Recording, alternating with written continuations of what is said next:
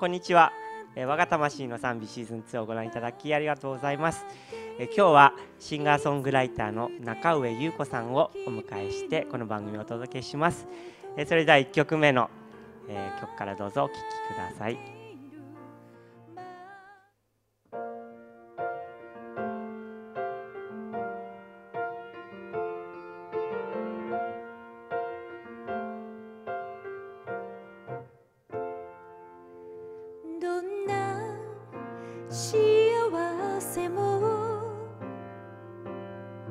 どんな苦しみ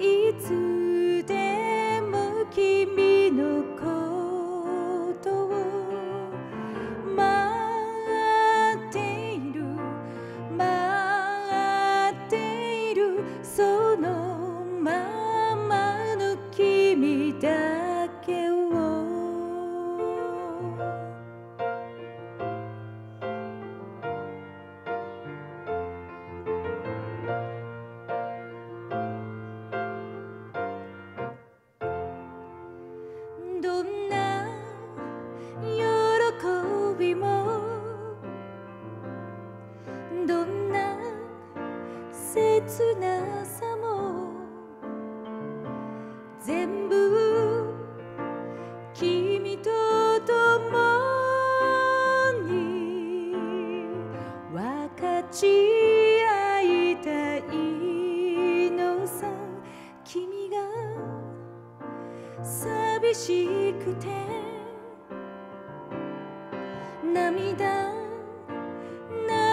とを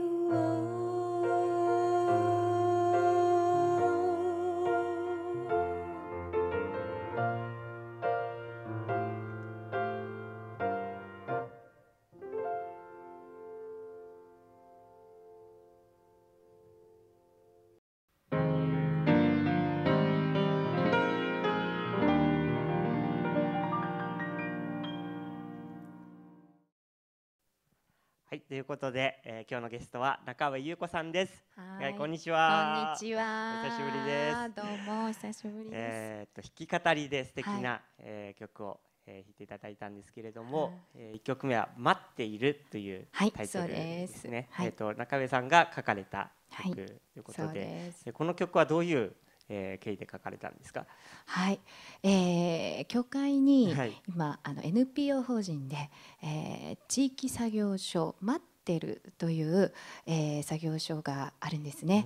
えー、それがあの作られた時に、まあ、みんながねあのそこに来てくださっている方々一緒に歌えるようにっていうことで少し簡単なメロディーとはい。こう覚えやすいこうフレーズで作なった曲だったんです。それでこうちょっとこうすぐに歌えるようなあのね。フレーズで、はい、えー。はい、えー待っているっていうその曲が、まあ、その NPO 法人はい、の、えー作業所っていうはい。のはちょっと具体的にイはい。メージがわからないんですけど、はい、えー、私たち、えー本郷大キリスト教会には、はい。えー NPO 法人いくつかあのありまして、ええ。その中の一つの働きとして地域に仕えるということで地域作業所待ってるという、えー名前の作業所をオープンしたんですね。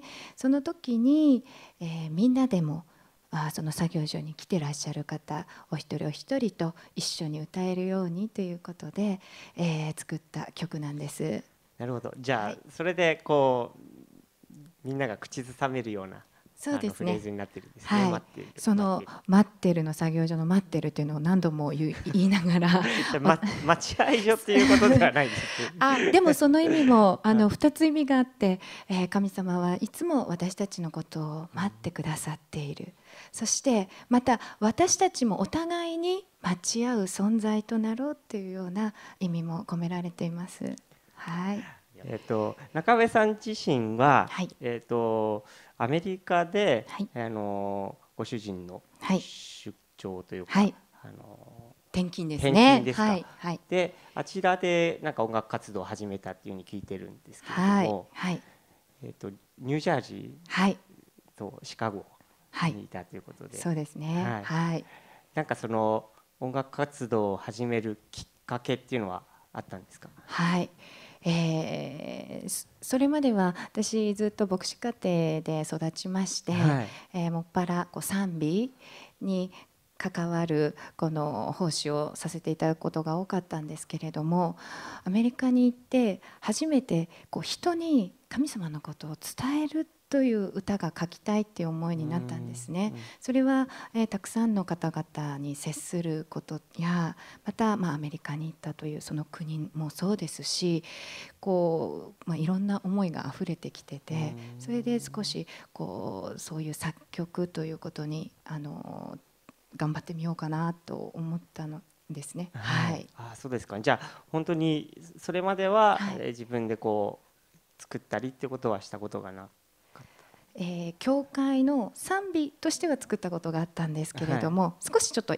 伝えるっていうことのその意味合いが違う曲っていうのは作ったことがなかったですね。そうですか、はそしてえっとまあ一番目のアルバムがはい、「えーチェーンリアクション」はい、あの結構いろんなところで歌われてはい。はい。あのはい。私も他のアーティストで、はい、歌ってるのをあの聞かせていただいたこともあるんですけれども、はい、えーすごくメッセージ性が強い、そうですね。はい曲でどういう思いがこもってますか？はい、えーこのチェーンリアクションっていうのは連鎖っていう意味なんですけれどもこの曲は私が本当にこうシンガーソングライターとして、えー一つのミニストリーとして自分があーこれから活動していきたいと思ったそのきっかけの曲なんですね。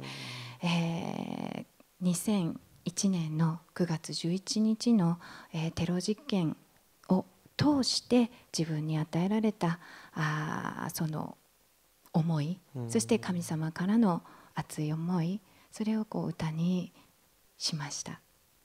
そしてなんかその小さいことではい、もういいっていうええええ。それがこう連鎖になって、はい。そして大きなことにつながっていくっていうそのはい一つのこう小さい自分としての一歩を踏み出した曲なんでしょうか？そうですね、えー、あの大きなねこう惨劇の前に祈りさえも何かこう届かないようなそんな大きなこう黒雲に押されてしまったような、そんな時だったんですけれども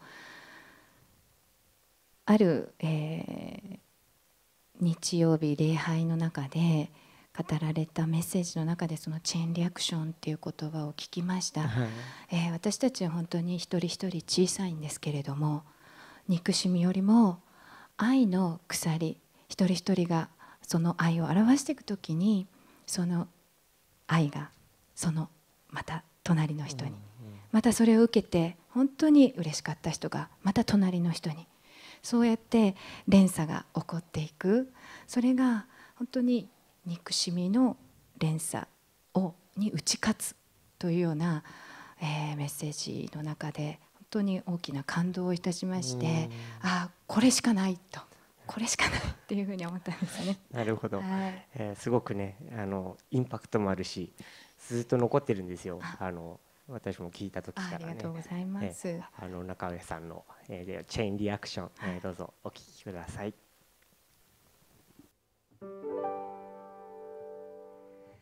昨日まで平和と思ってたもう後戻りはできない見せかけで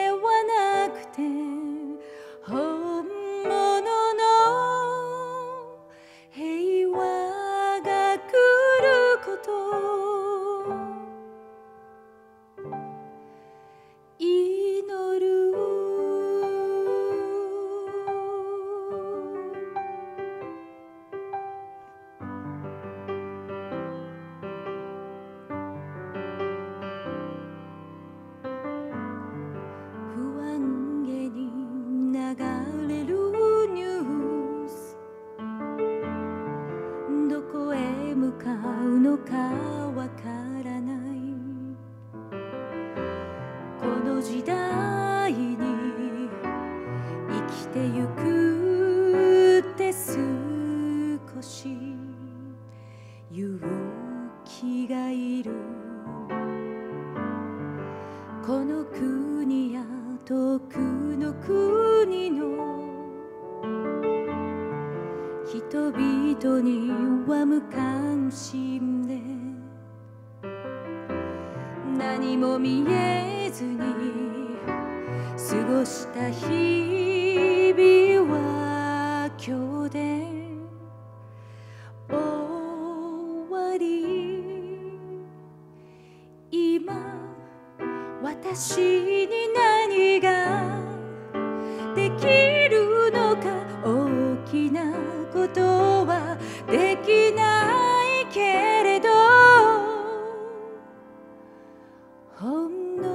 一握りの優しい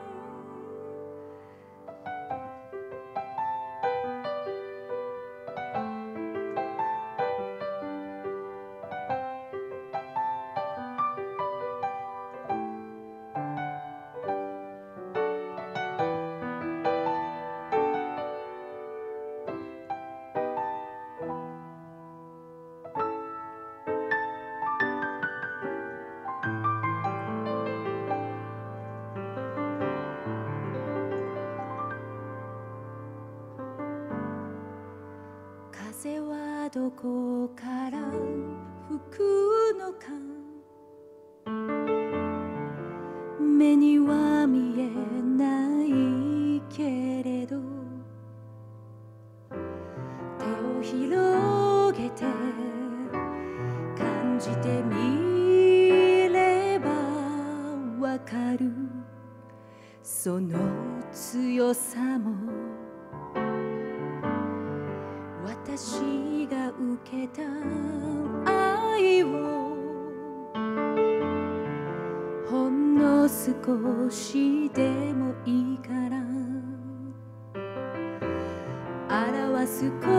ことができたとしたら風は吹くよ。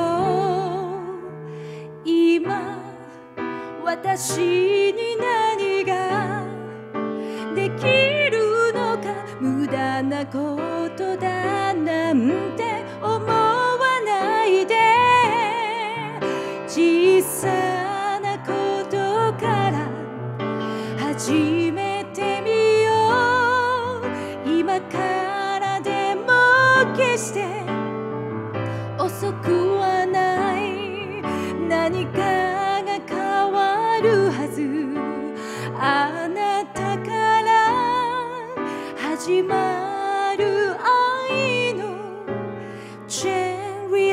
クション。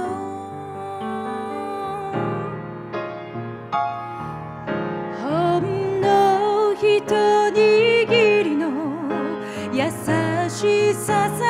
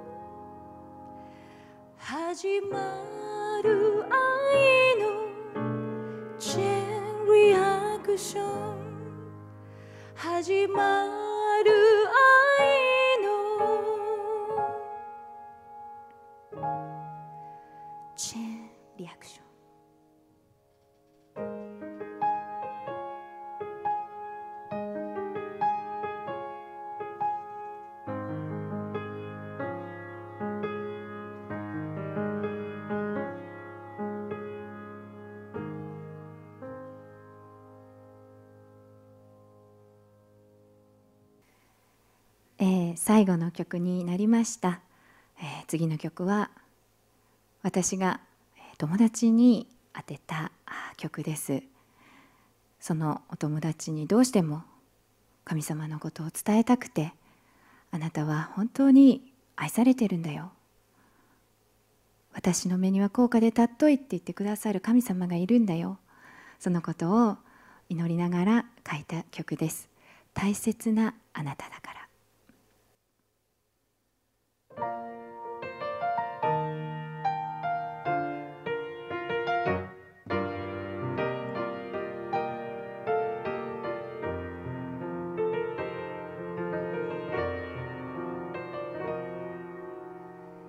過ぎゆく時の流れ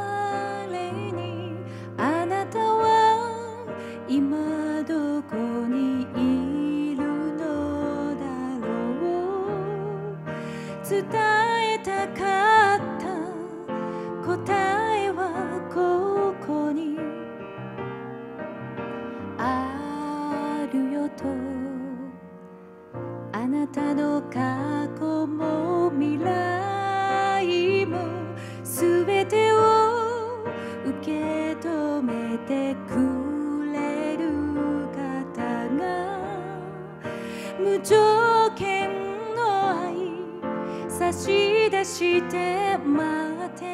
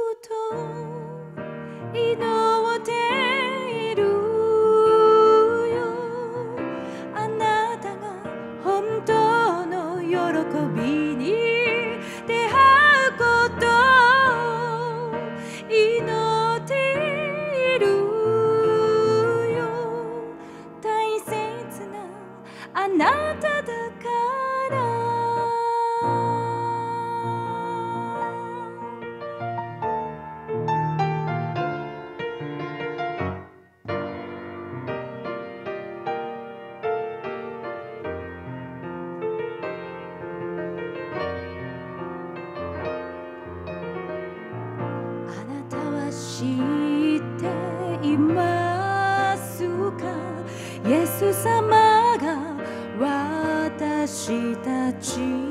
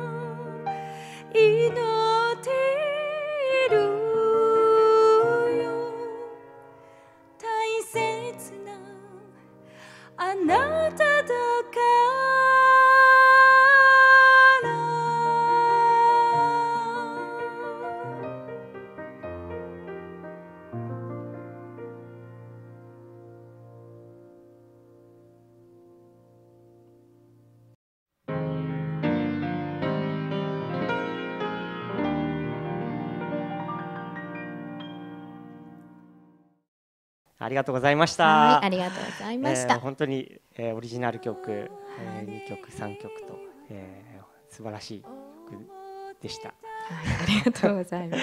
えー、3曲目の、はいえーその大切なあなただからはいっていう、そのお友達に書いた、えええええー本当に、えー心にねあのメッセージがこう伝えたいっていう気持ちがすごくこう伝わってきまはい、した。ありがとうございます。えーこの曲は CD に入ってる、はい、入ってます。えー、とチェインリアクションっていうはい CD ですね。そうですね。はい。実際にその曲というかその CD はお友達にプレゼントとかされたんですか？えっと、えー、しました。はい。はい。どんな？どんな感じだろう。でも、あのーもうすぐに、えっと、どう言ったんでいいんですかね。遠くに、お互い遠くに行ってしまうような感じだったので。えー具体的な感想は。ちゃんと聞けてないはい、聞けてないですでねはい。本当にそのメッセージがねはい。多くの人にそうですね。届くと思います。はい。えっと中江さんは、はい。今あのご家庭を持ってはい。そして子育てをしながらというか、はいえ。はい。活動をしていると聞いたんですけど、はい。そうですね。はい。あのそういう中ではい。の活動っていうのはすごく大変だと思うんですけど、そうですね。あのー大変なまあ部分とでも、うん、今はもう子どもたちも大きくなりましたので、まあ非常に心強いというか、はいあのーすごく応援してくれてるんですね。はい。でもっとあのもっとどんどん行って歌うべきだと。すごくはい。ね。心強い、うん。はい、励ましを受けてます。いつもははい、弾き語りのスタイルなんですか？弾き語り中上優子としてはい。弾き語りが基本の、はいスタイルなんですけれども、はい。えーまた別の形であ Wiz というデュオでもあの活動しています。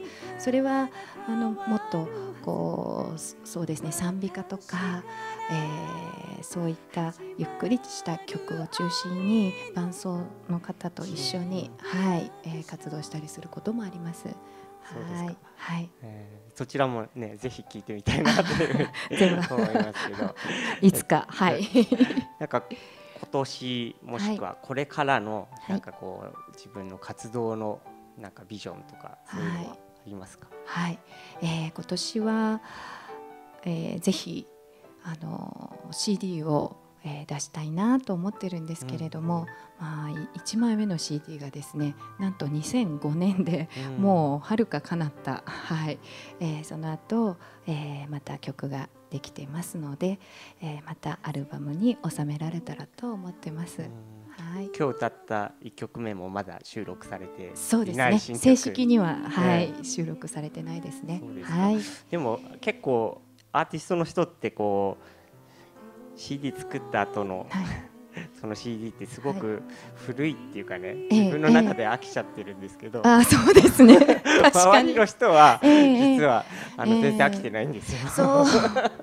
そうだといいんですけれどもね、はいでもなんかね CD にするとまたそのまあ聞いてくださってる方はね、その時その時に、えー、いろんな形でその歌を通して、えー、励まされてるんだっていうような声を聞くと、あやっぱりこの形にするってことは大事なんだなとこういうねライブとかだけじゃなくて、えー、形にすることの大切も大切さもまた、はい、あの教えられているとこなんですけれども、はい、なんかこう具体的なというか、はい、どんなこうメッセージを次にあの入れたいかっていうそういう構想とかまではまだできあ構想まではできてないんですけれども、はい、でも先ほど歌った「待っている」という曲や、うん、えー、また他にも、まあ、いくつかあるんですけれどもこう御言葉をベースにしてそしてやっぱり神様という方が本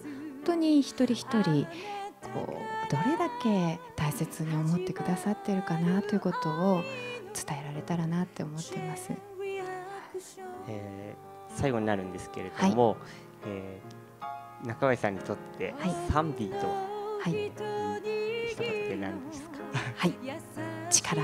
力。です。えー、ど本当に賛美すると元気になるそうですね。はい、えー、私私は、えー、こういうふうに、まあ、弾き語りでもさせていただいたりまた教会の方ではあのゴスペルの、えー、指導もさせていただいたりまた賛美の、えー、礼拝の中での賛美の奉仕もさせていただいたりといろんなこうあのジャンルっていうか、はい、でもどれも本当に自分にとってやっぱり歌い出すとはあ本当にこう天とこう直結するようなですね 喜びとまたあ本当にこう励ましと力がこう与えられてくるというのが実感ですね。はい。なるほど。本当にね賛美は力っていうことを、はい、ぜひこれからも、はい、あの歌を通して、はい、皆さんに伝えていってください。はい。えー、今日のゲストは、えー、中上優子さんでした、えー、この番組では、えー、出演くだしてくださる、えー、アーティストの方を募集しています、えー、ぜひお近くにいる、えー、もう本当にですね賛美が大好きな人、えー、曲作りをしている人そのような人を、えー、ご紹介いただければと思います。それでは次週また、えー、我が魂の賛美シーズン2でお会いしましょう、えー、ありがとうございました。ありがとうございました。